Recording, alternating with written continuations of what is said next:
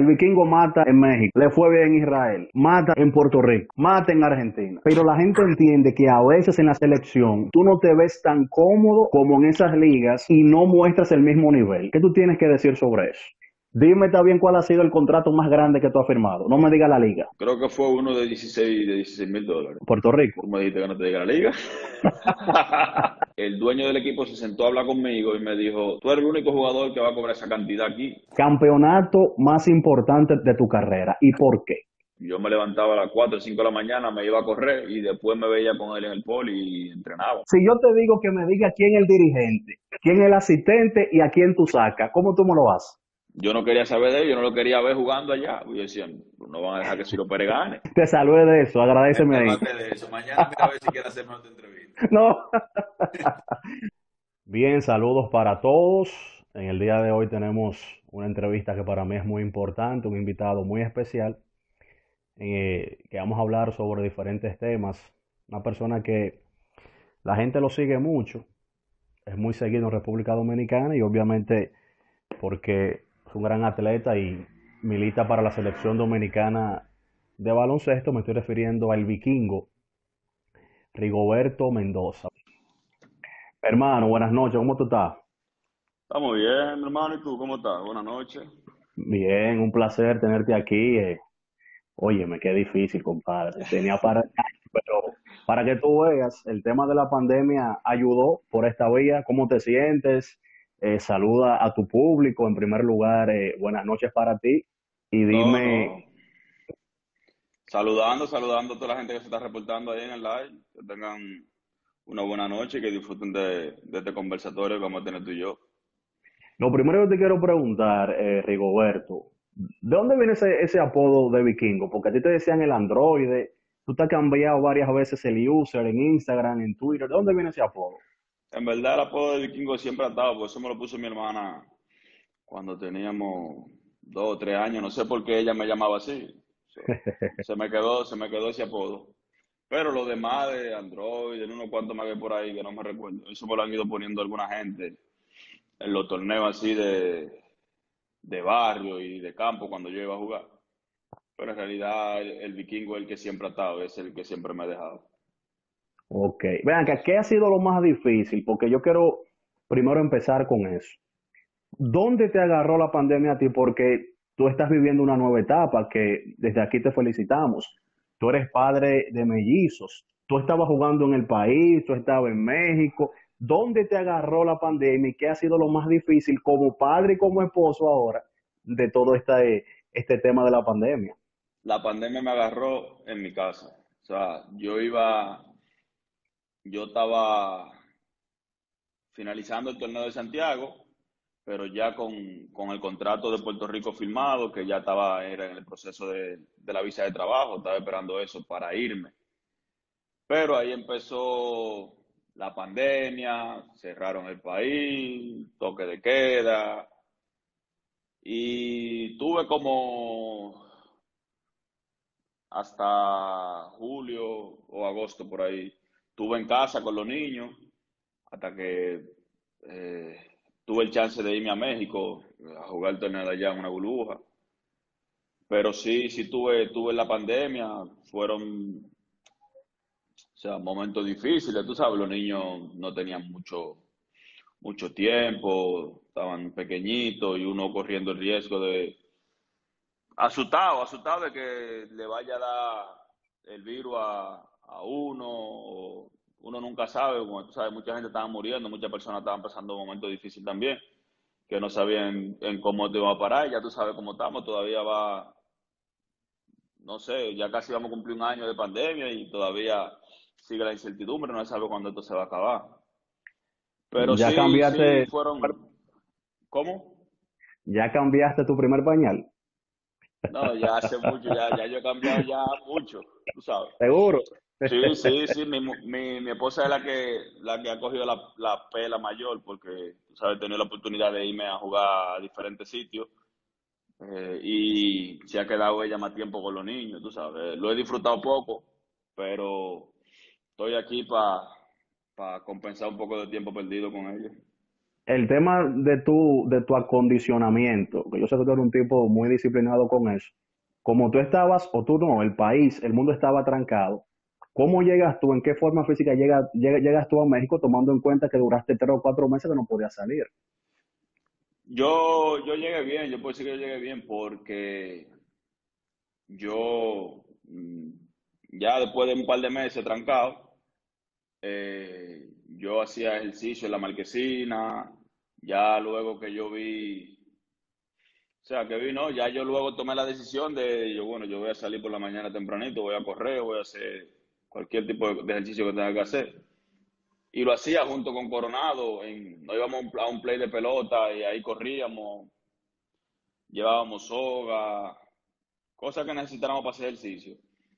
Ya luego yo me estaba trasladando a la capital a entrenar con el ruso. Ya cuando ya yo supe que iba para México, tomé dos o tres semanas para llegar lo más ready posible y gracias a Dios llegué, llegué en buena condición física ya, no tuve problemas. Ok. Ese, fue el tema de la pandemia, que quería iniciar con eso. Pero primero, yo sé que la gente sabe, Rigoberto, dónde tú has jugado, tus actuaciones, pero hay algo que es la parte personal que me interesa en, este primer, eh, en, en esta primera instancia resaltar. ¿Quién es Rigoberto? ¿Quién es Rigoberto Mendoza? ¿Quiénes son sus padres? ¿Cuántos hermanos tú tienes? Si tú eras carpetoso en el colegio, eh, si tú aprendiste a jugar baloncesto tarde, si era tu pasión, si tú te veías como una selección de, República Dominicana. Cuéntame un poquito sobre eso. Yo era carpetoso en todos lados, incluso todavía siempre iba haciéndole travesura y eso. Bueno, mi papá y mamá, mi mamá se llama Mayra, mi papá se llama Freddy, eh, nacido y criado ahí en Lonova, en el pedazo, en el mismo, en el mismo, en el mismo sitio siempre. He, cambiado, eh, hemos cambiado de casa como dos veces, pero ya yo estaba súper pequeño, ¿entiendes? Pero fue ahí mismo, no de la misma esquina. Eh, mi mamá y papá siempre han trabajado y, y han estado ahí para nosotros. Yo tengo dos hermanos. Uno vive allá en mi casa todavía con mi mamá y mi hermana vive en Estados Unidos. Tiene dos niñas, ella ya hace tiempo que vive allá. Yo, la pasión mía siempre fue el baloncesto. Mi papá me llevaba el play, pero en realidad eso no era lo que me gustaba. Eh, en algún momento, sí te puedo decir que yo me vi que, que, que mi, mi, meta era, una de mis metas era llegar a la selección, ¿tú me entiendes? Yo, yo veía los juegos de la selección mientras estaba pequeño, o no nada más lo de la selección, yo veía los juegos de, de, del distrito, yo veía lo de Santiago, yo veía incluso lo de fuera de México, de Puerto Rico, y yo como meta en algún, en, en, me puse que, que yo en algún momento de mi carrera debía estar ahí, tú sabes, si me dedicaba, yo quería, yo quería tener la selección, yo quería jugar en esos torneos que yo veía por televisión.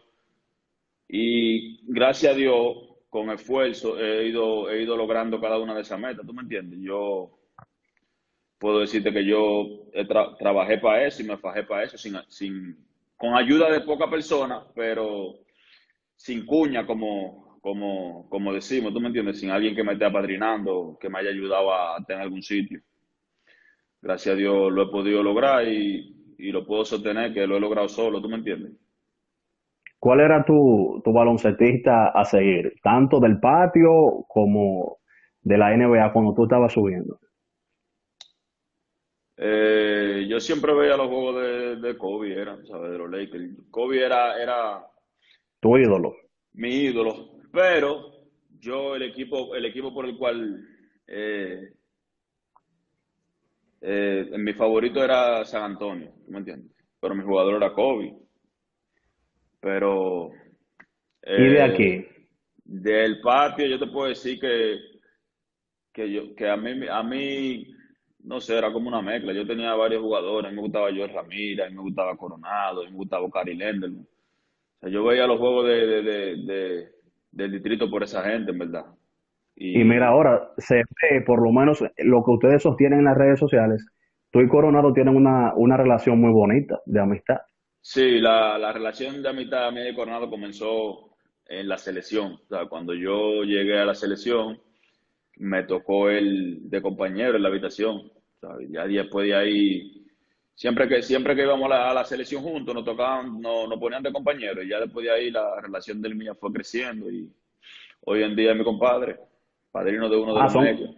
Ah, tú, es un buen dato, yo no lo sabía. Sí. Un abrazo para Pedales Coronado, que ha ido a San Cristóbal y ha azotado ese, ese torneo. Por cierto, tú dijiste algo que para mí fue muy importante hace varios segundos, de que todo lo que tú has logrado, primero Dios, obviamente, ha sido por tu esfuerzo. Nadie te llevó. En el 2013, tú debutaste en el distrito, un muchachito con 19 años, con los Minas, y se metió a una final ese equipo. ¿Cómo tú llegas a los Minas? ¿Quién te lleva? Y sé sincero, sentiste un chin de apriete viendo ese palacio lleno contra Rafael Vargas, aunque te fue bastante bien, pero tú eres un niñito, 19, 20 años. Yo estaba jugando en Sosúa, en, perdón, en Puerto Plata, en, con el Puerto equipo de Sosúa. Con los Chars, sí. sí. Y yo estaba teniendo eh, juegos muy sobresalientes, ¿tú me entiendes? Con, con una cantidad de puntos muy elevada. Entonces, eh, primero me llama Nelson Saldívar de los Reales para avisarme que ellos me van a coger en el draft de la LNBP, que me van a coger en primer lugar, Uh -huh. etcétera, etcétera. Yo le dije que yo no tenía ningún problema. Eh, luego recibo una llamada de Maíta Mercedes preguntándome que cuando yo terminaba ya, que si había posibilidad de que yo ingresara a los Minas como sub-25 en ese momento. Por, en realidad era sub-25. Yo, en el día que él me llamó, yo había, yo había perdido ese día y ya, ya el equipo estaba eliminado. Yo le dije que, que yo no tenía ningún problema, que sí, que me gustaría, que yo iba. Y vía Maíta fue que yo llegué a los Minas. Pero ya Maíta, Maíta solamente te había visto en Puerto Plata o ya todavía de, debutado en San Cristóbal. Yo no sé dónde Maíta, me, yo no sé si Maíta se dejó llevar por lo que yo estaba haciendo en Puerto Plata. Okay. Porque todavía yo no había jugado ni la LNBP, Maíta no me había visto. Bueno, tal vez en San Cristóbal, pero, pero, en, San Cristóbal, o sea, en San Cristóbal yo no había tenido un torneo así como estaba teniendo en Puerto Plata, ¿tú me entiendes? No. Todavía, no. Yo estaba, todavía yo estaba iniciando, estaba nuevo, era yo creo que mi segundo año en San Cristóbal. O sea que tú mataste primero en Puerto Plata que en San Cristóbal. Claro, así fue. Entonces Maíta se dejó llevar de eso, entiendo yo, y, y me llevó para los Minas. Con relación a los Minas, eh, para mí fue una experiencia muy bonita, porque compartí con jugadores que yo lo veía por televisión en ese torneo. Oh, pero claro. Y me enfrenté a jugadores que también lo veía por televisión. Entonces, respondiendo a lo que me preguntaste, no, yo en ningún momento me apreté, porque yo venía con esa confianza que ya yo estaba sintiendo en Puerto Plata. O sea, no era, la, no era el mismo nivel, eran jugadores obviamente mucho mejores. El palacio lleno, de vikingo. Y no, pero no, en verdad jugué bastante bien. Yo mismo no me lo creía, pero después de ahí empecé a, a creer más en mí y a darme cuenta que yo podía lograr cada, cada una de las cosas que yo me propusiera. Ese era solamente el inicio. ¿Tú hiciste pana ahí en, en los Minas, en, en, ese torneo, Gregorio Beltrán, Mal Cordero? ¿O simplemente fue una relación corta de compañeros? ¿O hiciste fue una, pana ahí? Fue una relación corta, pero eh, sí te puedo decir que, bueno, eh, después de ahí ya yo me veía con Cebollita y hablábamos, eh, ¿cómo tú estás, mi hermano, todo lo otro? Ya sabes, ya algunos jugadores después de eso me conocían. Eh, yo lo conocía a ellos, pero yo no lo conocía a mí. Entonces ya después de ahí, eh, donde quiera que yo me viera con uno de ellos, pues nos saludábamos y hablábamos, ¿tú me entiendes? Yo te Cuando... puedo decir, yo hice, yo hice, yo, yo hice una buena mitad con Joel Ramírez también, porque Joel Ramírez y yo jugamos juntos en San Cristóbal, jugamos juntos en el GUG, y después de ahí como que, como que nosotros, ten, nosotros teníamos conversación continuamente, ¿me entiendes? ¿Y qué aprendiste de Joel? No como ser humano, sino como baloncetista primero. ¿Se te pegó algo de él? ¿Algún consejo en específico que él en algún momento te pudo dar? Joel Ramírez, tú te contagias con él cuando está entrenando, porque Joel Ramírez hace la cosa con, hace la cosa con, con, con una paciencia que tú dices, pero ¿qué es lo que este tipo está tramando? Algo.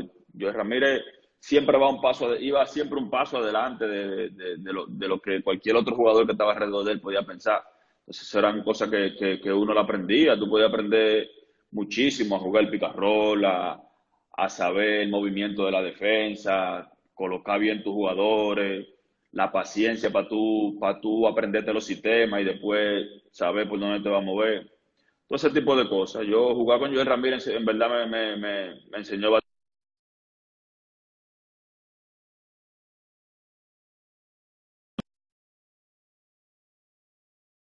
Cuando, cuando tú eres, un, tú eres un jugador que enceta una, dos pelotas, tú sabes, quiere emocionarte y que te dé la otra, entonces ahí venía Joel Ramírez y decía, no, espérate, esto, lo otro, ¿sabes? Ese tipo de cosas. Yo aprendí a manejarlo con Joel. Qué bueno. Una pregunta, siguiendo en el plano primero local, tu experiencia de jugar en San Cristóbal, obviamente, tú has jugado en diferentes partes del mundo, pero la primera vez que ya, no como rookie que venía de la banca, ya como titular, como un tipo con un nombre ya, ¿tú recuerdas ese primer partido y contra qué club fue? La primera vez que ya Rigoberto era el vikingo aquí en San Cristóbal. Yo recuerdo ya cuando yo llegué así a San Cristóbal, eh, no recuerdo de qué torneo yo venía, pero, oh, yo creo que estaba acabando la LNBP, la, la LNB de aquí, de la Lidova, no sé si era Lidova o eh, yo creo, no sé, yo creo que era ¿Qué año fue? En ese tiempo. No, ya era LNB porque fue después del 2010. LNB Yo creo, sí, yo, yo creo que fue ese mismo año que jugué con los Minas y ya los Reales me habían cogido eh, en el draft. No, eh, llegué a, ya el torneo había empezado, pero yo no me había, no había, no había terminado la LNB y cuando terminó, yo recuerdo que fue un domingo que yo llegué a San Cristóbal a jugar con los buitres contra Ciro Pérez. Ah, un juegazo, juego premium. Sí, yo me acuerdo ese, ese, ese juego y nosotros lo ganamos, pero el torneo ese año yo creo que nosotros lo perdimos. No, nosotros no ganamos eh, ese torneo. Pero la experiencia en San Cristóbal sí fue, fue muy bonita cuando yo llegué ya con un nombre hecho. Incluso todavía, todavía yo siento, siento que en, cual- en el momento que tenga la oportunidad, quiero volver a jugar. Tú sabes que, que obviamente ¿Cómo va a ser? O sea, Claro. el Vicky, el Rigoberto de la selección de Israel, todavía si hubiese, eh, o sea, si se hubiese dado el torneo en el 2020, ¿tú hubieses jugado con los buitres? Yo, yo, yo quiero, si, si tengo la oportunidad, obviamente, yo quiero hasta jugar uno o dos juegos. ¿sabes? Quiero volver a sentir el calor de, de, de, de la gente mía de San Cristóbal, de, de lo que son fanáticos de los buitres, de, de- de la gente que son fanáticos de cualquier equipo, pero que cuando yo iba y jugaba, ellos me aplaudían, ¿tú me entiendes? O sea, se paraban Sí. las cuatro gradas y me daban ese cariño y ese respeto. Entonces yo quisiera en algún momento que yo pueda devolverle eso a ellos, y que me vean jugar en vivo, tú sabes, que no nada más sea viendo los resultados por redes sociales o a través de una televisión. Tú sabes, cuando hay dos jugadores en una provincia, digamos, pequeña, que probablemente su nivel de baloncesto, su pico en los últimos 20 años fue 2003, 2004, 2005. Cuando hay dos tipos que polarizan la, la, la calidad, como el caso tuyo y el caso de José Corporantongo, la fanaticada, es normal eso, tiende a crear rivalidades. Ustedes son panas, en verdad hubo una rivalidad antes, o sea, aclárame eso, porque a pesar de que estamos hablando de un torneo local, de una provincia, obviamente que no es internacional, pero hay mucha gente que le dio seguimiento a eso. Sí, no la rivalidad. Yo te puedo decir que ha existido una rivalidad entre, fanáticos, eh, amigos de él y amigos míos, que yo soy testigo que, por ejemplo, nos, encont- nos encontrábamos en algún sitio y ellos se fajaban a discutir, el típico caso de no, el tuyo hace esto, el mío hace esto, el mío es mejor. Pero a mí nunca me ha gustado eso, porque, por ejemplo, cuando yo llegaba a un sitio yo veía gente discutiendo, preguntándome, yo lo que yo me iba, tú sabes, le decía a los amigos míos que no se pusieran a discutir. Tú sabes, no, no porque me sentía superior ni nada por el estilo, sino porque yo no veía el torneo superior de San Cristóbal como, como, Como un referente, como un parámetro. como la meta mía, no, yo digo, no, yo a lo mejor juegue dos o tres años y si Dios me da la oportunidad de estar en otro lado, olvídate que yo no voy a pisar San Cristóbal por ahora. ¿Tú me entiendes? Yo dejaba, yo decía, sí, no, él es mejor, déjenlo tranquilo, él es el dueño del poli. Pero mi, mi meta no va a ser jugar aquí. Yo esto un trampolín que lo voy a usar. Exacto. Hablando de eso, sí. La rivalidad, la rivalidad, la rivalidad entre ellos siempre existía y los juegos mío y de él, cuando nos enfrentábamos en una cancha, donde sea que nos veíamos, nosotros sacábamos chipa. ustedes, ustedes llenaban el poli, ustedes dos, dos muchachitos activos, no di que los refuerzos, y ustedes, ustedes y eso nosotros ahora hablando como San Cristóbalense, como fanático del baloncesto, a ti y a Tongo le debemos eso. Sí, no, como te digo, yo, yo llegué a ver poli lleno muchas veces, porque yo voy al, yo voy al, mi papá me lleva al poli desde que yo tengo siete años a ver los juegos de baloncesto allá. Y yo llegué a ver poli lleno muchas veces, pero nunca llegué a ver que dos jugadores nativos de allá llenaran el poli así, a esa magnitud y pusieran a la gente de pie. ¿Tú me entiendes? A las cuatro gradas, sin importar quién, de, qué, equipo estaban jugando.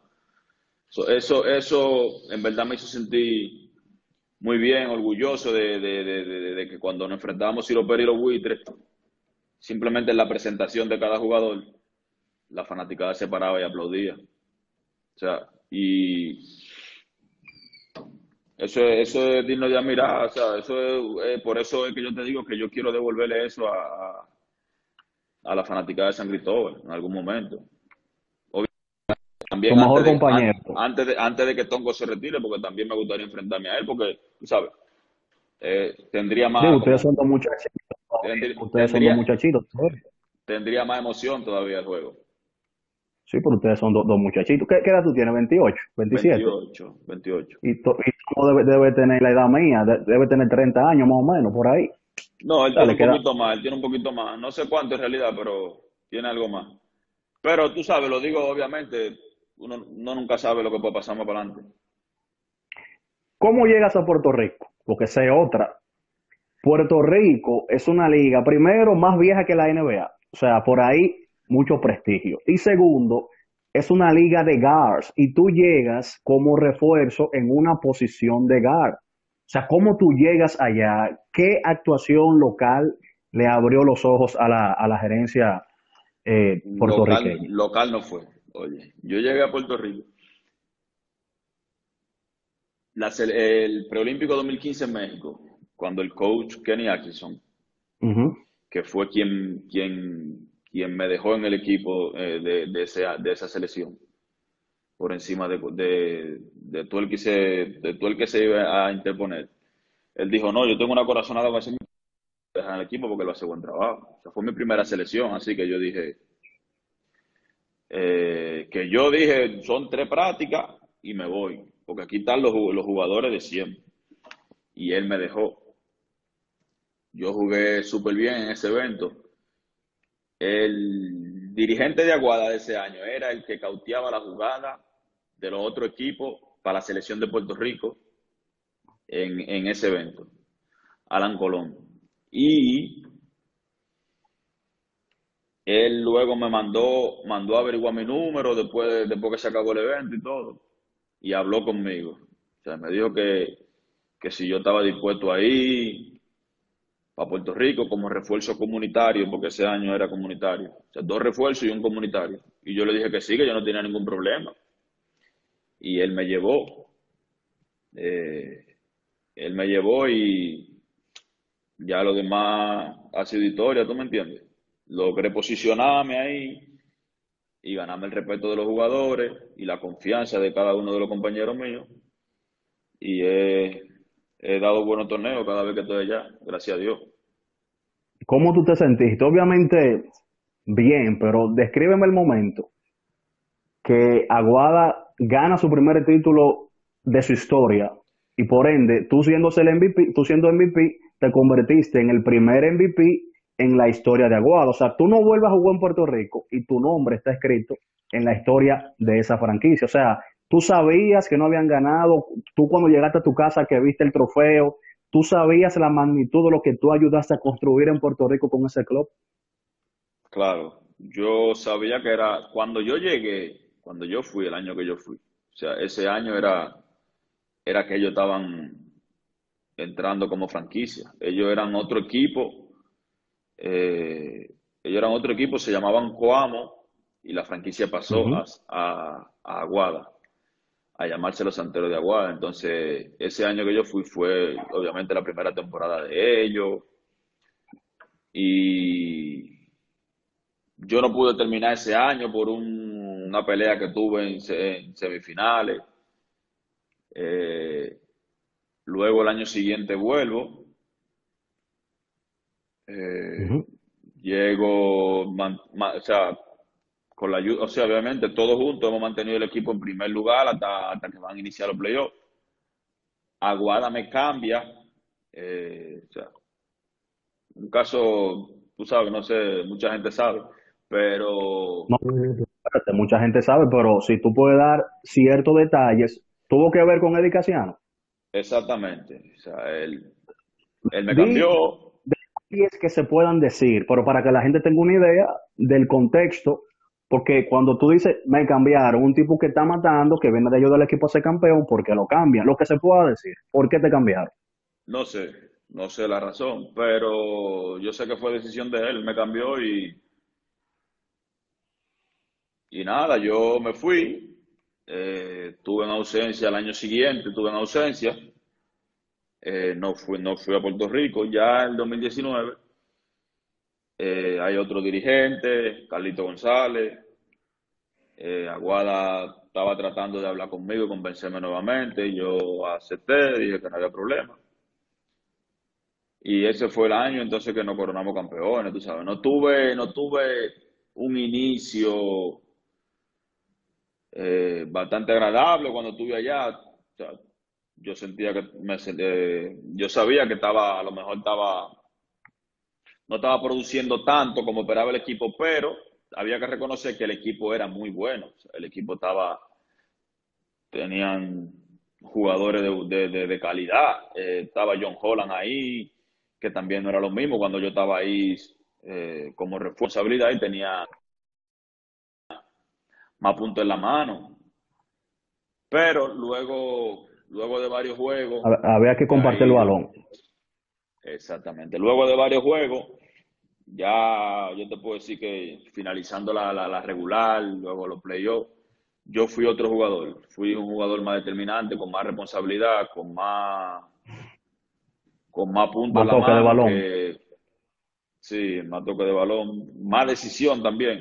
O sea, y ya eso, eso fue eh, quizá una de las cosas que más, que más nos llevó a nosotros a, al título, o sea, encontrarnos con, con, con, con San Germán en, en, en, en primera ronda, luego con, con Quebradilla, irnos a siete juegos, y luego con Ponce. O sea, fue, yo creo que fue el mejor año, el mejor año mío en, en Puerto Rico, el 2019 tú, has estado en Argentina, México, en México me parece que fuiste MVP. Saltamos ahorita que jovencito tú fuiste a Le Plata como con 19 o 20 años y ahora está en Israel.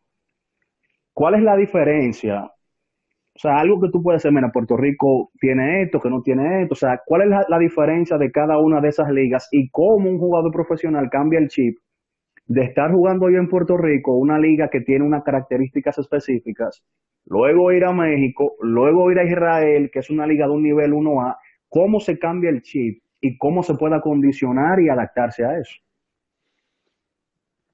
Eh, ¿Cómo te digo? Yo no cambio el chip tan rápido. yo trato de mantener siempre el mismo chip, trato siempre de jugar igual en todos los torneos, sea de, más nivel, sea de menos, sea que aquí se juegue más sistema, sea que allí se corra más.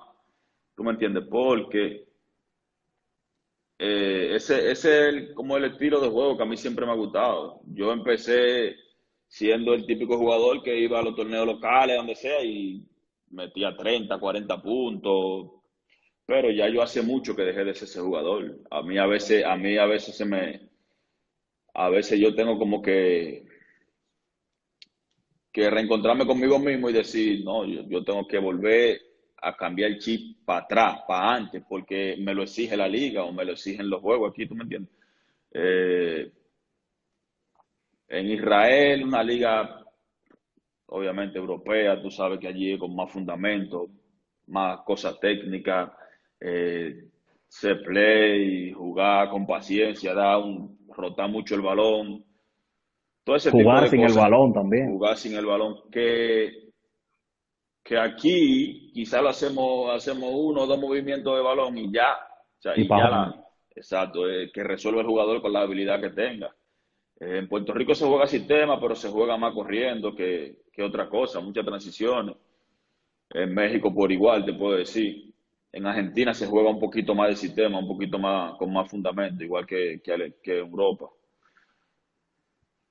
Pero sí, yo trato siempre de mantener un solo estilo de juego, porque si no, imagínate, como, como juego poco los torneos locales, pues me encuentro en, en, en otro tipo de liga que me adapto más rápido. O sea que los jugadores, ya uno conoce los jugadores, ya cada quien sabe cómo uno juega.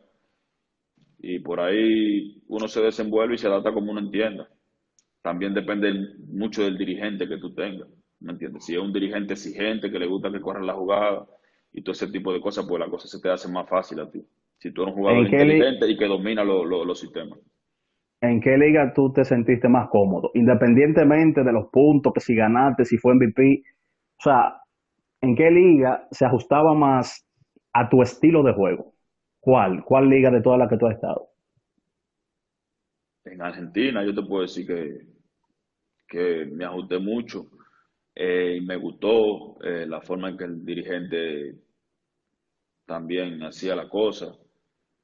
Eh, había que respetar los sistemas, había que hacer todo lo que él dijera, pero dentro de toda esa cosa que él tenía en su sistema, era, era, habían cosas que eran que se, que se adaptaban a mi estilo de juego, que yo le sacaba ¿Cómo provecho, o había muchas había muchas jugadas en transición, había muchas jugadas en corte, en corte que yo recibía el balón, ¿tú me entiendes? Ya cuando yo veía que él hacía ese tipo de jugadas y me ponía a mí a ser la primera opción en ese momento, pues ya, ya con eso ya me daba una confianza que yo a eso le sacaba provecho. Ya yo ahí, ya yo tenía la decisión, pasaba el balón o terminaba o jugaba un se Luz verde.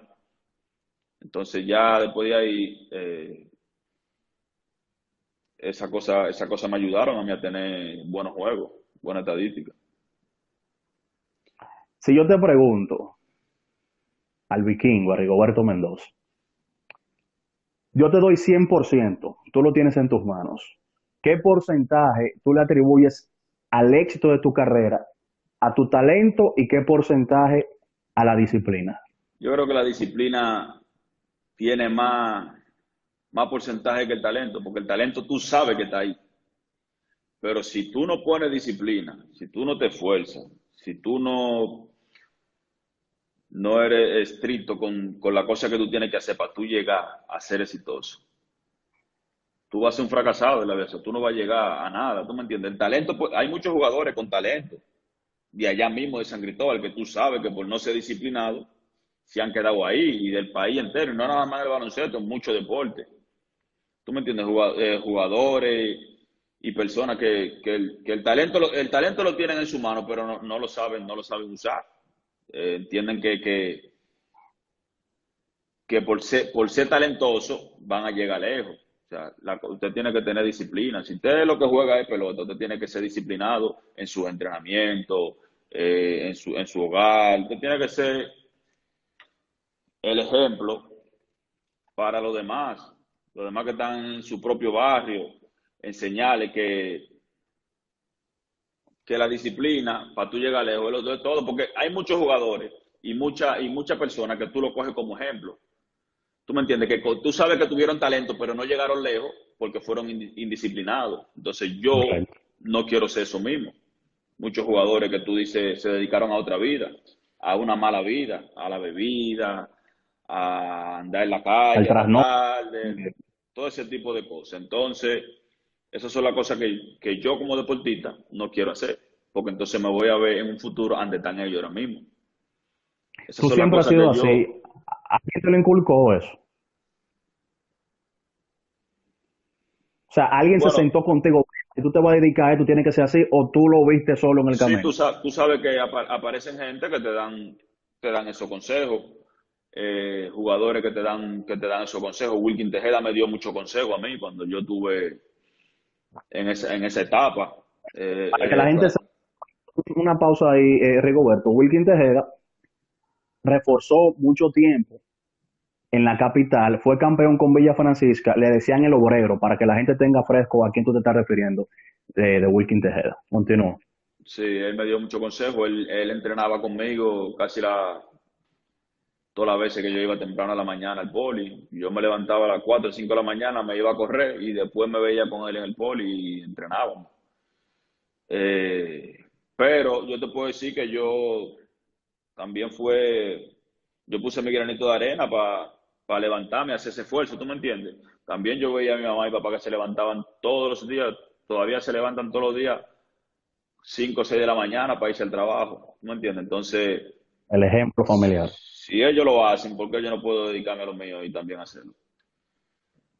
Entonces, eso, eso, eso, lo, eso es lo, lo más importante ahora mismo, la disciplina, en, en, en, lo, en, lo, que tú te vas a dedicar, obviamente. Sueña con lo que tú quieres ser, y trázate tu meta, pero pon de tu parte para que eso se cumpla. Llegó un momento en que Rigoberto dijo, me equivoqué de, decisión, esto no deja o no estoy avanzando, estoy estancado, lo suelto todo. Llegó un momento que pasó eso por tu mente y si llegó, ¿cuál fue ese episodio? No, ese momento no ha llegado porque eh, desde el momento en que yo logré salir de San Cristóbal a jugar a otro pueblo, yo no he parado todavía de, de, de, jugar en diferentes sitios y conseguir obtener diferentes logros, ¿tú me entiendes? Sí, sí llega el momento en el cual tú dices, estoy cansado, necesito darme un tiempo, otro, otro, mentalmente estoy fuera del baloncesto, qué sé yo. Igual yo imagino que te pasa a ti también, a lo mejor en tu trabajo tú dices, necesito una vacación, necesito cogerme una semana, dos semanas para no pensar tanto y no tener tanta responsabilidad.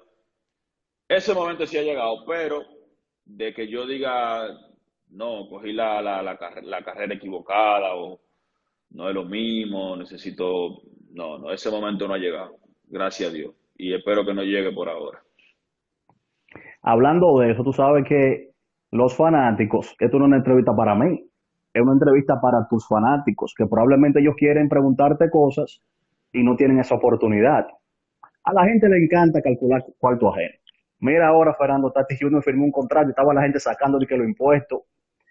Es rico, vikingo del baloncesto, eh, se puede acumular, acumular más o menos los salarios en, en, en Israel, en Puerto Rico, porque esos son secretos que el baloncetista y el deportista generalmente dominicano no le gusta hablar, pero que el fanático le gusta saber. ¿Qué te digo? Eh, no te rías. Siempre, oye, siempre, siempre existe el debate de, de, si la pelota deja más dinero que el baloncesto, que tú sabes que la gente te ve en la calle y te dice, no, ponte a jugar pelota que el baloncesto no deja. Y la, gente está equivocada, obviamente. A lo mejor a ti no te dan un contrato como le dan a los peloteros, de millones y millones, pero yo te, yo te digo a ti, yo sí, yo te puedo decir, el baloncesto deja tu dinero, el baloncesto te deja, te deja dinero, te, te, ayuda a tu salir de, de, de, la pobreza, vamos a decir, tú me entiendes, porque si tú eres una persona que, que tú no eres derrochador de dinero, ni tú sabes, ni, ni lo andas tirando para el aire, yo te puedo, yo te, yo te garantizo a ti que, que del baloncesto tú vives y puede, y puede, y puede ahorrar mucho dinero. Es simplemente tú, tú, tú dedicarte a eso, tú me entiendes, y no, y no malgastar tu dinero, porque ahí, ahí es que está el detalle, que el, baloncetista gana el dinero y después que sale de un juego, cobrado, lo que sea, se va por un lado ahí y, lo gasta. Entonces al otro día no, al otro día no tiene nada. Entonces, también es difícil tú hacerte, hacerte rico de, del baloncesto jugando localmente. Siempre hay un problema, siempre hay algo, siempre aparece algo en que gastar tu dinero. Tú te vas a jugar por ahí, por otro sitio.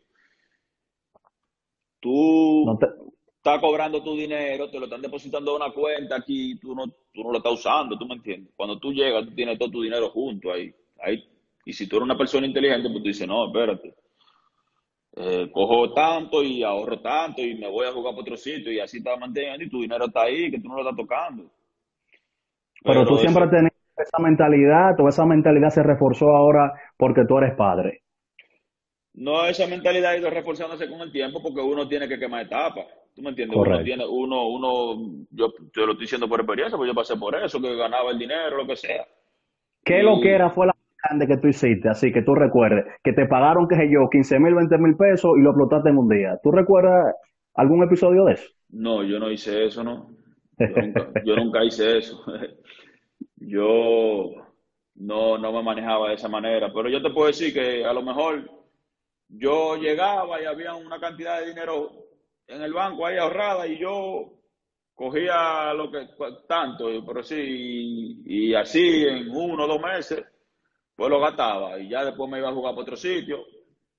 Y, pero ya yo fui aprendiendo, pues yo fui aprendiendo con el tiempo que no podía estar haciendo eso y ya ahora mucho menos, ¿tú me entiendes? Ahora uno anda buscando eh, cómo, cómo, qué uno va a hacer con el dinero, o sea, lo va a ahorrar, lo va eh, a gastar en algo de los medios, lo que sea, ¿tú me entiendes? Porque ya uno, ya uno quemó esa etapa, ya esa etapa se quedaron atrás, eso de estar comprando cosas que tú no necesitas realmente y, y gastándolo en bebida y con los panas, y ya eso, ya eso pasó de moda hace mucho. Está bien, me mareaste, me hablaste muy bonito, pero no me dijiste una, una cifra. Dime también cuál ha sido el contrato más grande que tú has firmado. No me diga la liga. El monto. Es que, la, es que no soy yo, es la gente que lo está preguntando. Creo que fue uno de 16 de 16 mil dólares. Puerto Rico. Tú me dijiste que no te diga la liga. está bien, está bien. 16 mil. ¿Ese ha sido el más grande o uno de los más grandes? Ese fue el más grande. Yo tuve otro más grande, pero no se, no, se me cayó ese contrato después. Ya yo sé cuál fue ese entonces, tú lo dijiste ahorita. No, yo no sé. El de antes de la pandemia. No, no, no. ¿Y por qué se cayó ese? Se cayó por...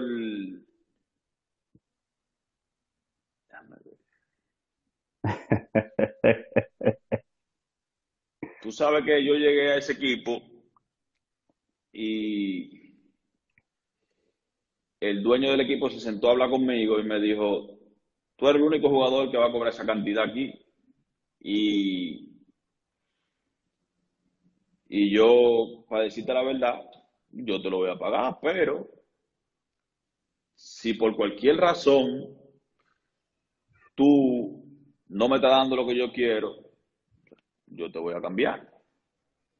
Yo mejor te pongo esto en la mesa y te lo garantizo hasta el final de la temporada.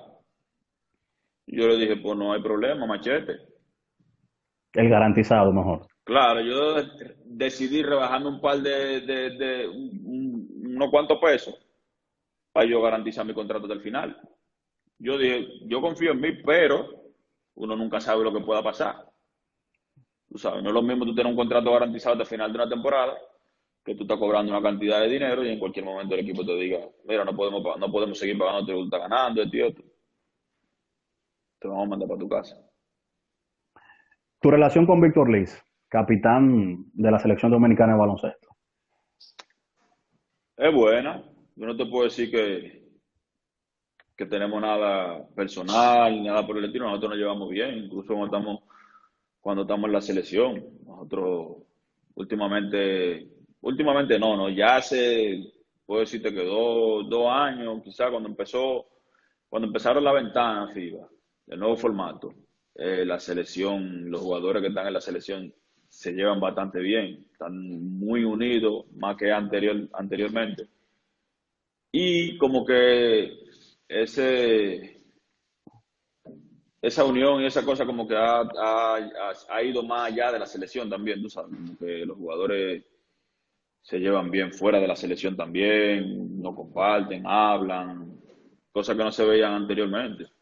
Y ese tipo de cosas. Yo con él no tengo problema y él y yo nos llevamos bien. Incluso hablamos mucho cuando estamos en la selección. Porque ahora mismo del grupo que del grupo que está ahí somos de los de los de los de los que más tiempo tenemos ahí, entre él, yo, él hoy. Somos de los que más tiempo tenemos ahí, entonces tenemos que tenemos que hablar. ¿Cómo tú tomas el tema de las comparaciones? Porque yo sé cómo lo cómo lo tomamos los comunicadores deportivos, yo sé cómo lo toman los fanáticos, pero un jugador, un ejemplo en tu caso, que se te compara mucho con Víctor Liz, ¿cómo ustedes toman eso? Si hablan de eso, si se ríen de eso, o si tú no le pones asunto. Yo no le pongo asunto en realidad. Yo veo que me etiquetan algo de una comparación, yo ni siquiera entro a leer comentarios ni nada por el estilo, no. Prefiero no no meterme en nada de eso y dejar que el, que el, que el público haga, sea lo que hablen y decidan, ¿no? porque ellos tienen derecho a eso. Cada quien tiene derecho a una opinión. ¿Tú entiendes que se te respeta ya a nivel nacional? Oye, ¿cuál oye, ¿por qué te hago la pregunta? Porque hay jugadores que pasan por la selección, son muy buenos, pero quizás, quizás no generan un respeto generalizado entre sus pares, por diferentes tipos de cosas, comportamiento fuera o dentro. Pero en tu caso, ¿tú sientes que tu comportamiento más lo que tú has aportado en la cancha eh, te ha servido que donde tú llegas, los mismos compañeros tuyos o ex compañeros o jóvenes que vienen subiendo eh, te ven como, como si fuese un guía, un líder y te, y te respetan tu legado o tu trayectoria, mejor dicho? Sí, yo entiendo que sí. ¿Te refieres a los jugadores que están en la selección también? Sí, sí, correcto. Sí, yo entiendo que sí. Nosotros, cada uno, eh, nos respetamos mutuamente, ¿tú me entiendes? Somos, entre soldados no nos podemos pisar la bandera. O sea, y no, uno sabe lo, a dónde ha jugado cada quien y, lo, y lo que puede hacer, la capacidad que tiene. También uno, uno, uno va más allá de lo que es el baloncesto, ¿tú me entiendes? Uno, uno va viendo qué tipo de persona es, cómo se comporta, todas esas toda esa cosas conllevan también a ganarse el respeto de, de uno, que para uno tratarlo, que no, sin, sin, sin que el vaquebol esté involucrado. ¿Qué jugador tuviste, ya sea en cualquier torneo que sea conocido en República Dominicana, que tú de primera impresión dijiste, oye, este tipo me cae mal, o hizo algo, y luego el tiempo te demostró que el tipo era totalmente diferente, llegaron hasta Cepana y se un buen amigo? Tú sabes que eh, ¿cómo te digo? No, no que me haya caído mal así a simple vista ni nada, sino que yo era fanático de Ciro Pérez. Entonces, cada vez que Joel Ramírez jugaba con los buitres. pero que tú eras fanático de Ciro, ah, porque tú eras de los Nova, correcto. Claro, yo siempre, yo siempre fui fanático de Ciro Pérez, incluso el primer año mío fue con Ciro Pérez. Ok. Pero yo, yo estuve ahí en el banco. Cuando yo me fui para los buitres, fue, fue el segundo año mío que Miguel llegó a Ciro Pérez. Yo dije, no, pues si yo me quedo aquí, yo nunca voy a ver juego. Se me fui para los buitres Miguel venía de España en ese momento, de España, exactamente. Pero te decía, eh, yo le tenía, yo no, ¿cómo te digo? No, me caía mal yo el Ramírez y Charles Rodríguez, porque siempre iban con los buitres y siempre era el mismo ¿Cómo así? ¿Cómo te caía mal? Sí, o sea, yo, yo decía, oye, pero esta gente, ¿cuándo, ¿cuándo van a dejar de venir a jugar aquí? Porque cada vez que ellos iban a jugar, Ganaba. Con, el, núcleo de jugadores que tenían los buitres nativos, era un problema ganar a esa gente. Y yo era fanático de Ciro Pérez, entonces yo a esa gente yo no quería saber de ellos. Yo no quería saber de ellos, no lo quería ver jugando allá. Y yo decía, no van a dejar que Ciro Pérez gane. Y así, así. Pero después, después con el tiempo, después con el tiempo te conté, me dice amigo de Joey Ramírez, jugamos juntos en los buitres, jugamos juntos en Santiago y, y, compartimos muchísimo, ¿tú me entiendes? No? Ya después el tiempo, el tiempo me, me dio a demostrar que uno tiene que conocer a la persona y que también yo aprendí de eso, que yo era un muchacho, ¿tú me entiendes? Yo era un muchacho que no, no pensaba igual.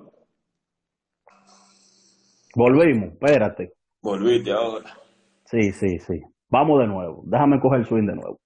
Hay una pregunta que cuando yo posteé que tú, estaba, que tú ibas a estar conmigo, fuera de relajo, la, no la mayoría, la gran de cada día mensaje, nueve eran más en esa pregunta. Pregúntamela al vikingo.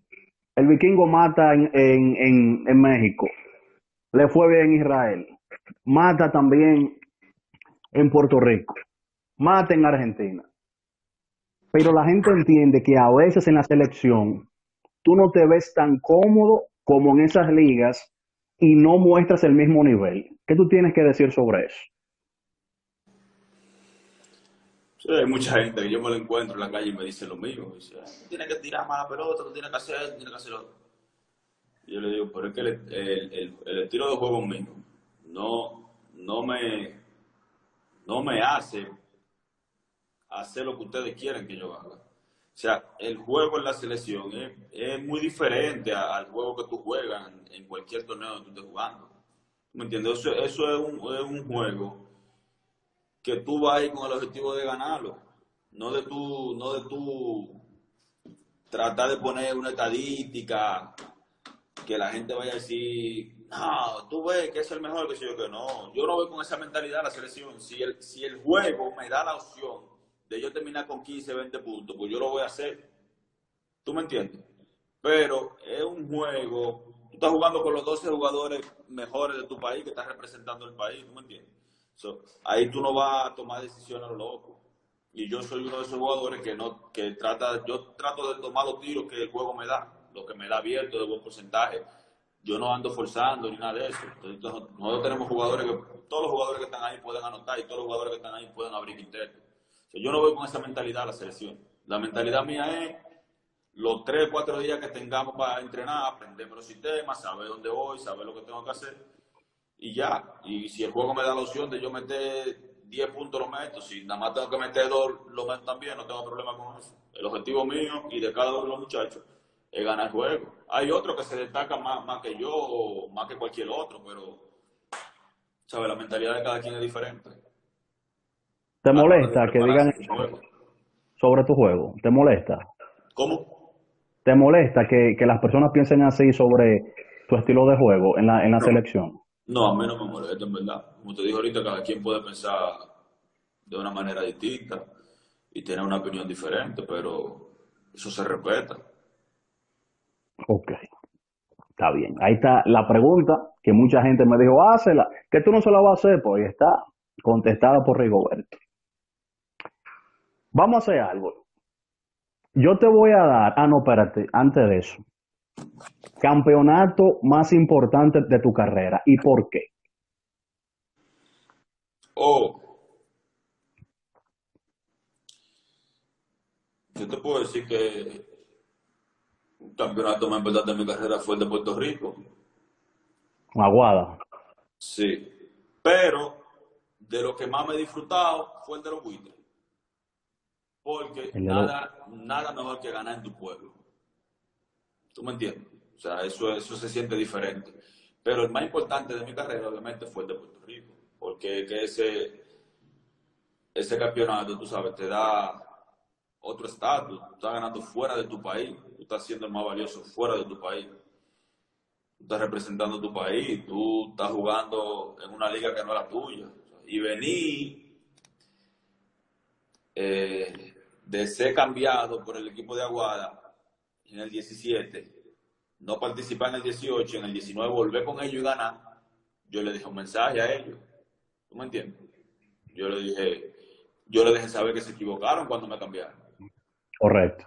Yo estoy volviendo con ustedes y ahora le estoy dando el título. O sea, eso, eso, ese, ese año fue, fue bastante, bastante emocionante y de mucha experiencia. Fue uno de mis mejores años en, en el baloncesto mi carrera.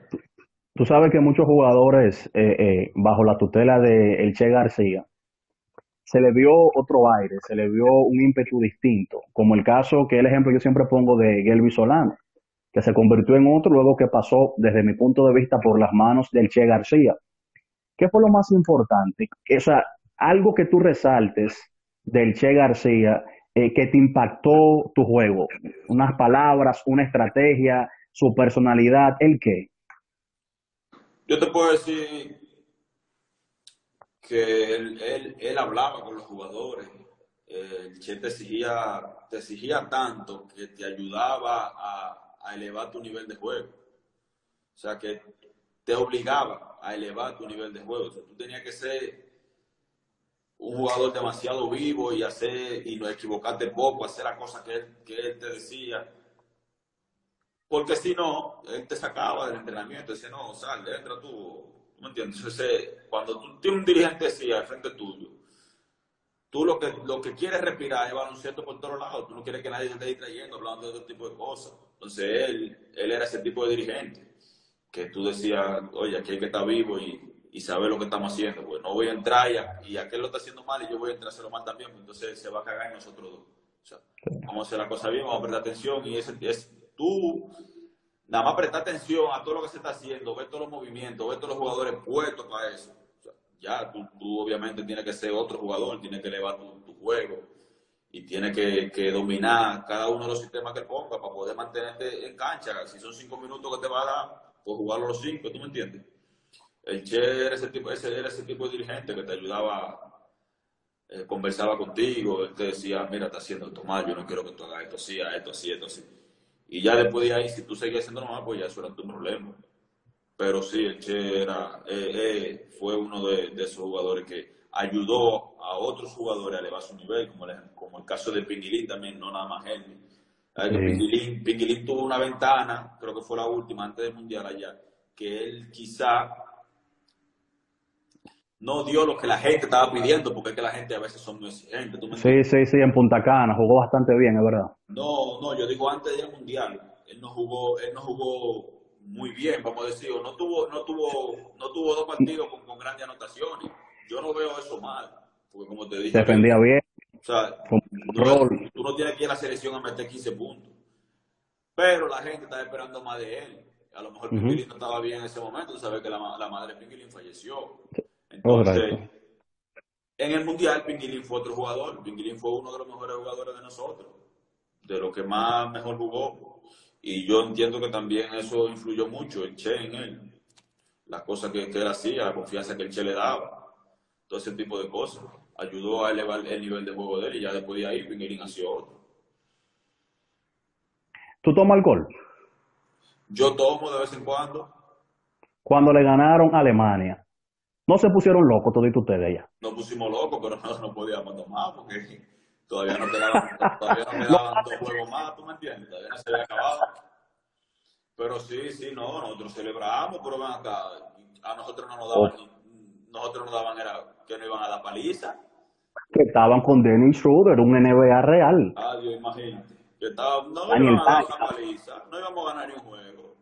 Y mira cómo sorprendimos. Nosotros, nosotros le ganamos ese juego, esa gente se quedaron en la cancha así con la, con la Loco, sí, sí. Ellos no se lo uh -huh. Pero, pero ¿Y cuál sí, fue el plan? Tú sabes que eso es, es un tema importante que tú traes a colación. ¿Cuál fue el plan para ese partido? El plan motivacional, porque yo sé que vamos a defender aquí, a cerrar aquí, pero el plan, o sea, el Che le dio a demostrar a ustedes que olvídense que nosotros podemos, desde el minuto uno. Sí, el Che, el, no, del minuto uno no, desde de, de los entrenamientos antes de ir al juego los entrenamientos antes de llegar a la fecha del juego, el Che nos metió en la cabeza a nosotros que nosotros le íbamos a ganar ese equipo. Wow. O sea, y nosotros, él fue tan, tan, tan insistente con eso, que nosotros no lo creíamos, ya nosotros dijimos, sí, nosotros le vamos a ganar a esa gente. Trabajo psicológico. los jugadores que tenían ahí. Y el Che, el Che, el che no, o sea, yo me reía porque a veces cuando estábamos viendo los videos entraba un sustituto o algo de, de, de ellos. Por ejemplo, Musculoso. ese que tiene la pelota se parece un carnicero, ese esto, lo otro. Y ya nosotros lo veíamos así, nosotros veíamos, coño, pero aquel es un loquito, sabemos que es de NBA, que también, pero aquel es otro loquito. Y así estábamos nosotros. Ya el día del juego, nosotros estábamos batallando con ellos de tú a tú, y al final del juego ganamos uno de los momentos más importantes de la historia del baloncesto de República Dominicana. Y tuviste el privilegio de estar ahí. De estar, claro, ¿no? Un mundial, tú me entiendes, ese nombre, ese nombre queda ahí ya. Eso es historia, tú me entiendes. Yo, cuando los medios entiendan, yo puedo explicarle eso y decirle, mira, tu papá tuvo aquí, tuvo aquí, tuvo lo otro. Son cosas que se quedan ahí. Cualquiera quisiera tener la oportunidad de tuvo un mundial o una olimpiada. Yo quisiera tener una olimpiada. Esa es tu meta, una olimpiada. Sí, me imagino que también la de, la de, la de muchos jugadores que están en la selección también. Nosotros vamos un preolímpico ahora. Ojalá y se dé, ojalá y se dé. Eso sería otra experiencia para pa, pa recordar, ¿tú me entiendes? Háblame, Rigoberto, de Daniel Seoane. Daniel, Tolete llevó al equipo el cual tú estás. Hace varios años estaba en segunda división. Llegó ese muchacho, lo subió a primera y ha sido en varias ocasiones asistente del Che. ¿Qué has aprendido de él? él fue así, eh, en varias ocasiones ha sido asistente del Che, fue asistente, no recuerdo si son dos o tres ventanas de, de Melvin en la selección. Tuvo ahí un buen tiempo. Eh, es dirigente del equipo Maccabi ahora en Israel. Eh, pero él tuvo, él tuvo varios años como asistente ahí también. Creo que tuvo Sí, yo cuatro años sé. como asistente en ese equipo. No, no tengo el dato de si eh, era el dirigente cuando ese equipo de, segunda división avanzó a la primera, no tengo ese dato. Pero sí es buen, es buen entrenador, Daniel eh, eh, se- es de lo que se entrega, o sea, es de lo que ama lo que hace. Eh, se Un entrega, apasionado. ¿eh? Un apasionado es. Sí, un apasionado, él ama lo que hace, él, se- él se dedica, él dedica el tiempo a, a, a los entrenamientos, a enseñarte cualquier cosa que vea que tú estés haciendo mal. Él si tiene que coger un día libre lo coge y va y te explica y mira esto, a esto, a lo otro, tú sabes, de eso, de eso que, que de esos, de esos entrenadores que tú quisieras tener al lado, que tú me entiendes, que, que la mano sea que, que si tú haces la cosa mal te regañen, no, no estás haciendo la cosa mal, pero bueno, yo te voy a ayudar a que tú lo hagas bien, a esto, a lo otro, esto se hace así, esto se hace así. Y así, tú me entiendes, yo he, he- logrado tener eh, un poquito de- a coger un poco de- del conocimiento que tiene cada entrenador por lo cual me han dirigido y tratar de, de, de- de- de aplicarlo, de aplicarlo en, lo- en lo- en los conocimientos míos. Ok. Ahora vamos a esto. Maíta fue el, el- el dirigente que te llevó por primera vez a tu primer gran torneo local, ¿cierto? Lo menos. Sí, El Che García fue el dirigente con el cual tú ganaste el partido más importante de tu carrera, porque fue a nivel global, me estoy refiriendo porque fue contra Alemania.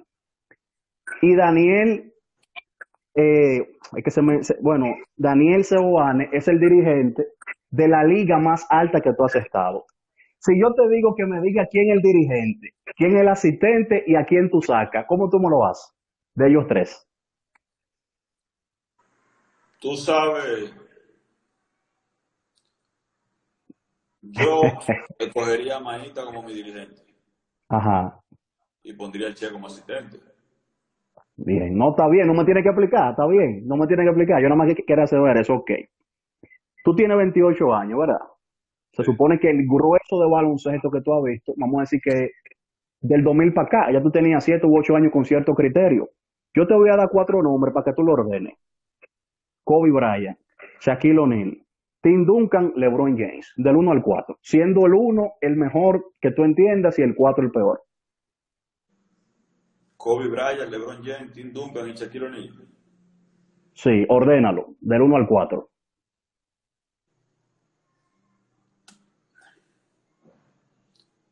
Yo pondría así mismo Kobe Bryant, LeBron James.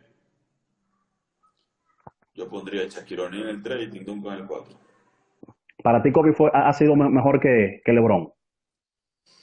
Es que es un tema como de, de, de mi preferencia, ¿tú me entiendes? Ah, bueno, preferencia, de lo que perfecto, de lo perfecto. que a mí me, me, me, me- gustaba, de lo que a mí me gustó de Kobe, o sea, fue... Sin embargo, mira, a ti te gusta Kobe y tú juegas como LeBron.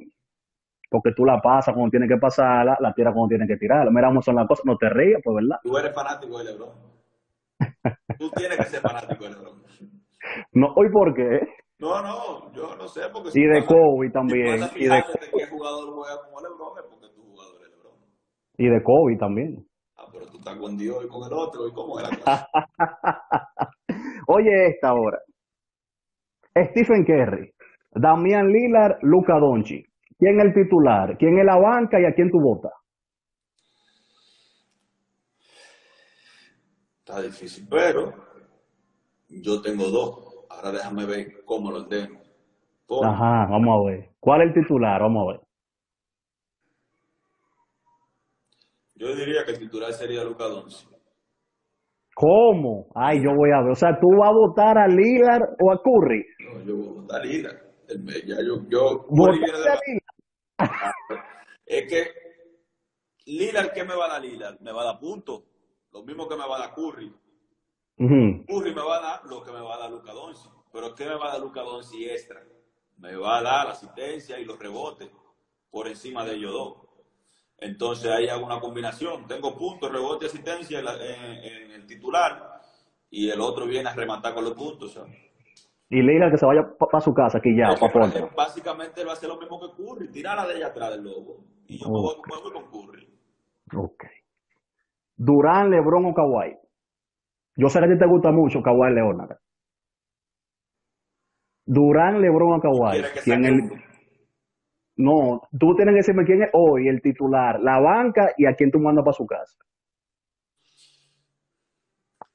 El titular de todo y todo eso es LeBron. Ahí. Por poco tú lo dices con tanto dolor eso. No, dolor no. Dolor no, si, si yo pongo otro por encima de LeBron ahí, no estoy haciendo nada. Tú me, o sea, yo- tú me vas a decir, ¿cómo, cómo, cómo es que tú juegas baloncesto? Ahí obviamente el titular es LeBron. ¿Y quién viene de la banca? ¿Kawhi o Durán? No Durán viene de la banca. El jugador, el Kawhi es mi jugador, pero yo no, no puedo decir que está por encima de ninguno de ellos. ¿Tú me entiendes? Tú usas el número 2 por Kawhi, eh. En, en, en, un momento, tú lo usas.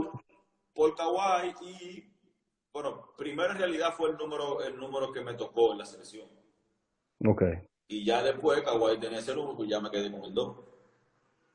perfecto. Entonces votaste a Kawhi. Voté a mi jugador, para que ahorita la gente me empiece a mandarme DM, escribirme, que ese jugador no sirve, y ya lo saqué. Este es más fácil para ti. Kobe, Wade o McGrady. Está fácil. Sí, Kobe, ellos tuvieron- Ajá, y los otros dos. Los ver, y los otros dos. McGrady. Kobe McGrady, Pero perdón, McGrady de- banca y tú votas Wade. claro. Ahí está. Y finalmente, Vikingo, Duncan, Nowitzki o Garnett. ¿Quién titular? ¿Quién en la banca y a quién Esta te la que está más difícil. Sí, esa está muy difícil. Hay desperdicio. Yo no estoy hablando de carrera, Vikingo. Los que te gusten a ti y en su mejor momento, ¿con cuál tú te quedas? Vamos a ver. Duncan el titular. Ajá, vamos a ver. Y con el dedo de mi alma voy a tener que sacar un wiki. A Nowitzki. ¿Por qué con el dolor de tu alma? 30 mil puntos, votaste para la basura ahí. Yo sé que voté 30 mil puntos, pero me quedé con Garnet, que viene a darme defensa, viene a darme rebote, viene a motivarme a los muchachos, porque eso sí tenía él, que era un, era un gran motivador y era de todos jugadores que hacían una jugada eh, sumamente buena y ya metían al público, motivaban a los demás y esa jugada podía cambiarte el juego. Yo me quedo con Garnet, aunque yo sé que con Wiki yo a lo mejor tenía 20, 25 puntos también. Pero no andaba Sí. buscando eso, pues ya yo tengo uno completo ahí, que es Duncan. Ese va a ser de todo dentro de la cancha. Calladito, así como era Franklin Wester, pero va a ser de todo. Sí. Hablando de Franklin Wester, tú me pudieses dar tu quinteto, eh, vamos a decir, de los últimos 20 años, para no forzarte, para meterte para los 70 ni, ni para los 80. Tu quinteto de la selección, si tú quieres, te puedo incluir. No, yo no me voy a incluir, porque tú sabes que yo... No, pero está ahí la opción, por si acaso. Sí, sí, pero ok, pero dame los cinco tuyos. Dirigente Rigoberto Mendoza, le están haciendo una entrevista dentro de 10 años. ¿Cuáles son los cinco eh, que tú entiendes que son los jugadores de, la, de, la, de la selección que tú has visto por posición? Lo que tú has visto. Tú sabes que yo he visto pocos jugadores de esos... Pero vengan, que yo, y, y este manejo de Teo. jugadores estuvieron en la selección, pero yo tuve mala oportunidad de verlo en, en torneos locales que en la selección. Yo no, no lo pude, porque a lo mejor yo te menciono jugadores y a lo mejor no te menciono otros porque no me, no me acuerdo. Ok, te lo voy a poner más fácil entonces. Los cinco mejores refuerzos que tú viste jugar en San Cristóbal. Vamos a ver. Eh, ¿En el torneo superior de San Cristóbal o...? Sí, sí. No, como tú quieras, como tú ibas de fanático, como tú estabas como jugador, como tú quieras. ¿En el torneo superior de San Cristóbal o cuando estaban los constituyentes? Menciona más uno de los constituyentes, a ver si es el mismo que yo tengo en, en la mesa. Pues es el mismo, Samuel Curry. Yo no he visto un tipo mejor que ese aquí. No he yo. visto uno mejor que ese tampoco, que haya ido, que haya pisado el tabloncillo de San Cristóbal. Yo, no, y no San Cristóbal. Yo no he visto, bueno, quizás sí lo haya, pero este tipo tiene que estar entre los mejores tres refuerzos que ha venido al país, por lo menos en la etapa Lidova y LNB. Siendo conservador, es que este tipo era una bestia. Puede, puede que haya, porque a lo mejor el tipo, el tipo tú sabes que no duró mucho jugando allá tampoco. No, no duró mucho. Hice, no sé qué. Pero sí, puede, puede que haya, nada más por esa simple razón, porque el tipo no jugó mucho y a lo mejor no todo el mundo lo llegó a ver. Okay. Eh, los cinco, ¿cómo era? Cinco refuerzos que hayan pisado San Cristóbal. Vamos a ver. Oscar y Lenderman es uno. Hizo, hizo mucho lío, sí, pero era duro, allá durísimo. Sí, no, sí, sí, sí, eso sí, tiene su plato.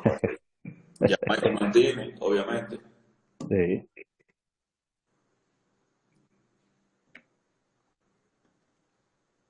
Hansel Salvador, Llegó papá, Kikima. de los jugadores que tú dices tienen su respeto.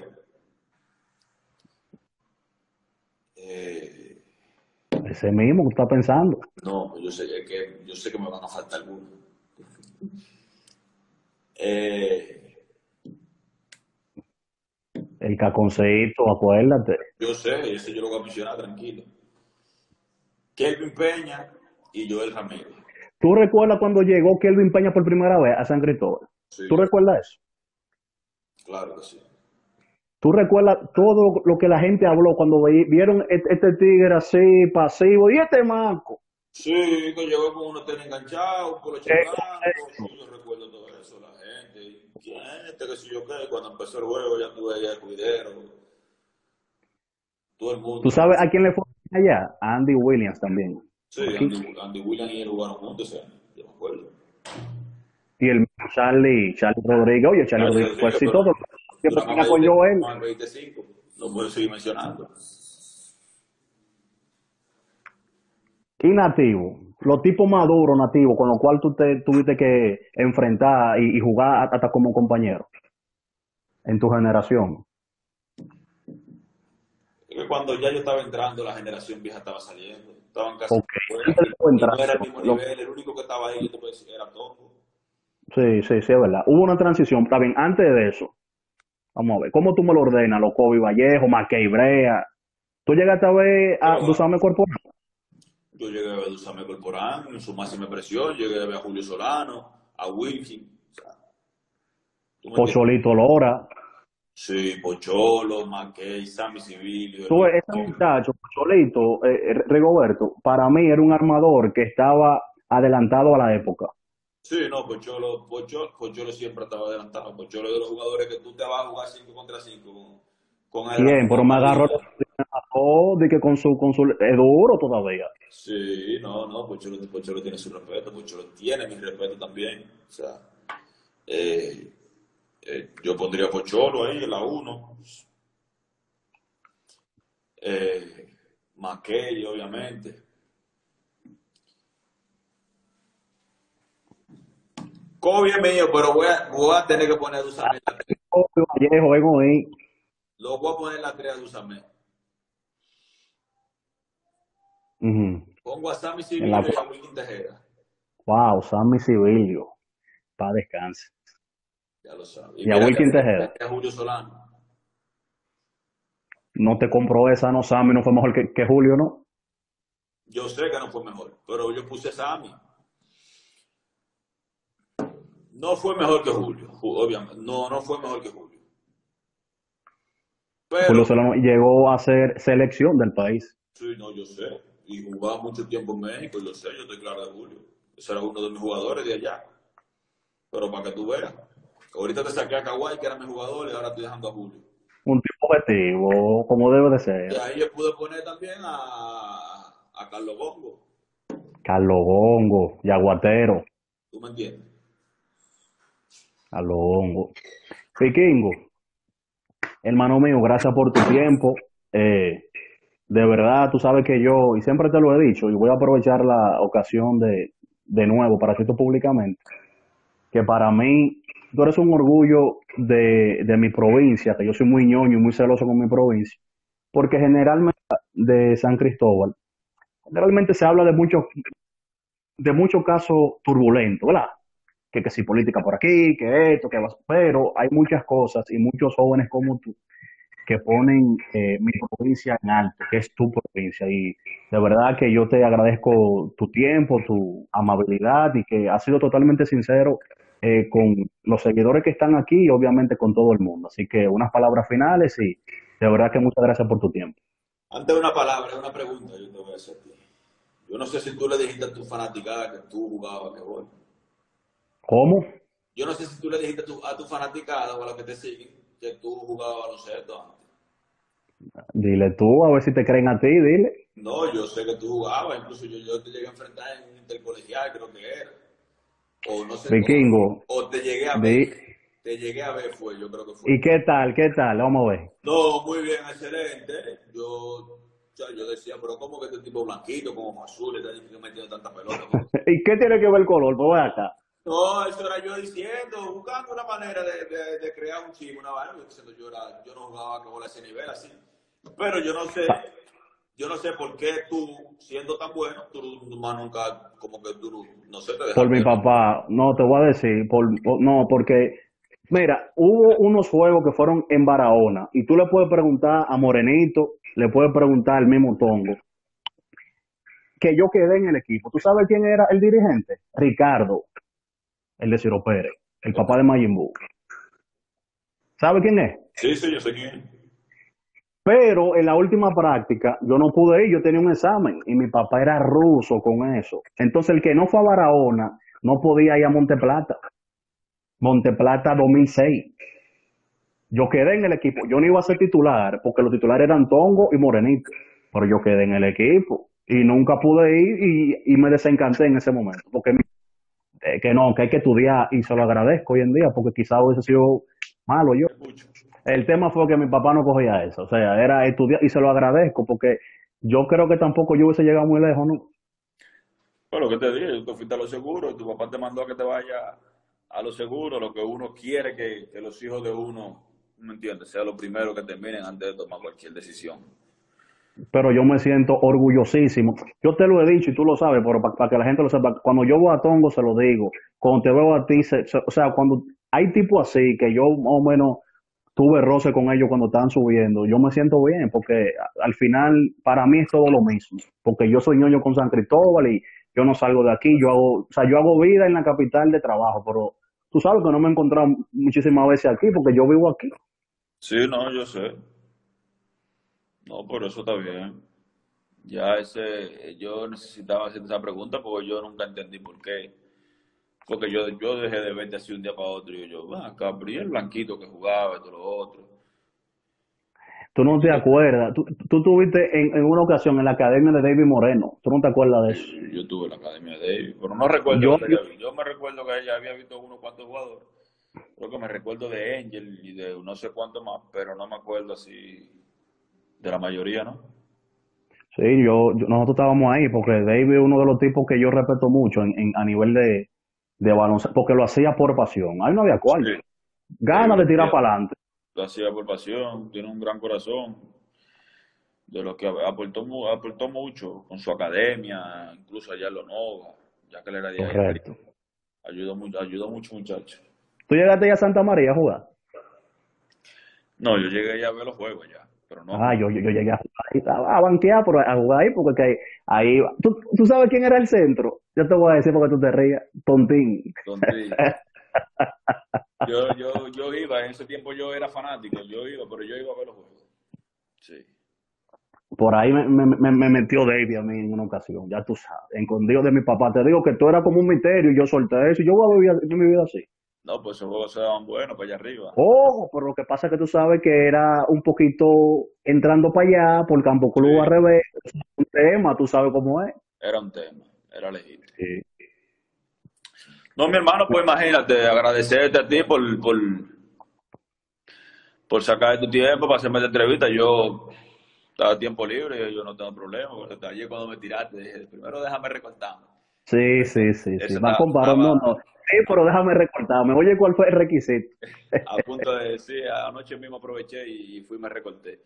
Agradecerte, hermano, por, por, por, por, por el conversatorio, la entrevista, eh, por la confianza. Yo sé que llevaba tiempo atrás de mí y yo te decía, sí, esto, lo otro, pero a veces los, compromisos de uno no, no, o los compromisos míos no me, no me permitían eh, poner una fecha y concretizar eso.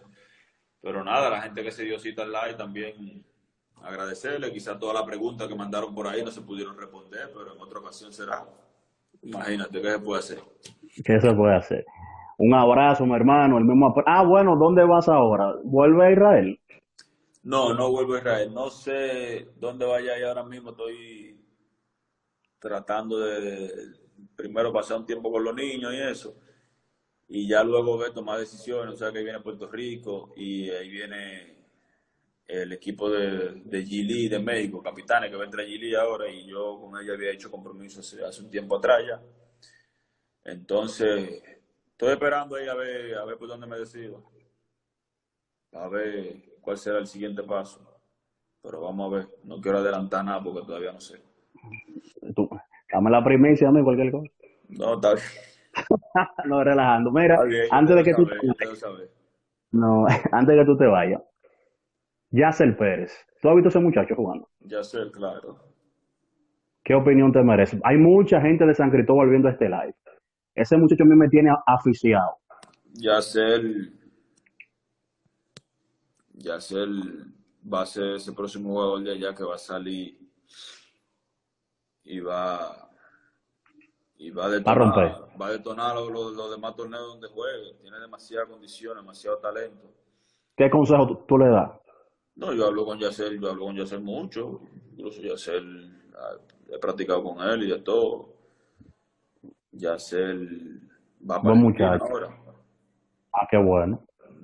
No sé si ya se fue, pero yo sé que estaba en eso. O sea, Tú Me parece que lo tiene Fran sí, también. sí, sí, eso, eso lo- lo- yo lo hablé con Fran, hablé con él y, y él está en la compañía de Fran ahora. Eh, pero sí, yo no si ya, si no se ha ido, está a punto de irse entonces, porque yo sé que está con, el equipo de obra en Argentina. Tengo un dirigente que me dirigió cuando estuve por Argentina que me escribió para preguntarme sobre él. Pero sí, ya sé, lo que le hace falta es tener esa experiencia y, y es bueno que él vaya para ese tipo de liga porque él va a aprender muchas cosas del baloncesto. Él va, él va a aprender a jugar baloncesto de verdad. Él se va a dar cuenta que, que eso donqueo y esa cosa que él hace, con todas las condiciones que él tiene y su cuerpo que se lo permite, él va a entender que eso no es, eso no, eso no es necesario en, en- en el Que hay juego. más allá. Que hay, hay muchas cosas más que aprender en el juego que hacer, hacer el donqueo. O sea, la gente, la gente lo ve eso, lo ve bien. Yo lo veo bien, ¿tú me entiendes? Porque esa es una de, de, de- de su de él demostrar la explosividad que él tiene en esa pierna. Y, y- pero eh, a él ser tan joven, eso, le faltan muchas cosas por aprender, que yo sé que él la va a aprender ahí. Cuando él domine todo ese tipo de cosas, no va a haber un jugador que se parezca a él. Que salga así con esas condiciones y con, y con, con los fundamentos del baloncesto. Una pregunta, ¿Yacel a su edad tenía más potencial que tú a esa edad? Eh,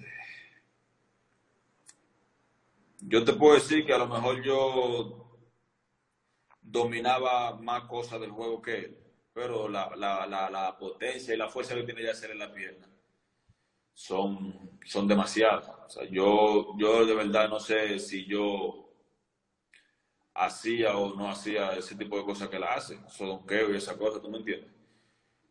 Pero yo sí, lo que yo te puedo garantizar es que yo dominaba más cosas que él de, de, de juego, de fundamento. Fundamento de baloncesto.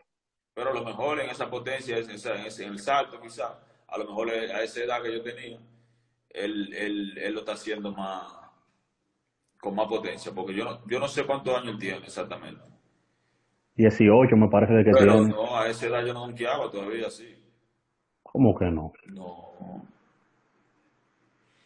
Yo a esa edad empecé, empecé a donkear, pero donqueo normal, ¿tú me entiendes? Sencillo, el, va, el típico normal, va, la donquilla.